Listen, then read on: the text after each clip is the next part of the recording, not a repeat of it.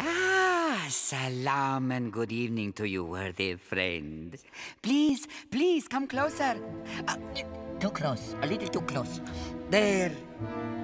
Welcome to Agrabah, city of mystery, of enchantment. Uh, the finest merchandise this side of the River Jordan, on sale today. Come on down.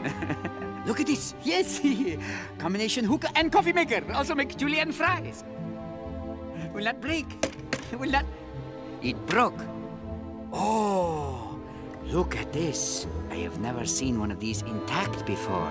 This is the famous Dead Sea Tupperware. Listen. Ah, still good. Wait, don't go. I can see that you're only interested in the exceptionally rare. I think then you will be most rewarded to consider this. Do not be fooled by his commonplace appearance. Like so many things, it is not what is outside, but what is inside that counts.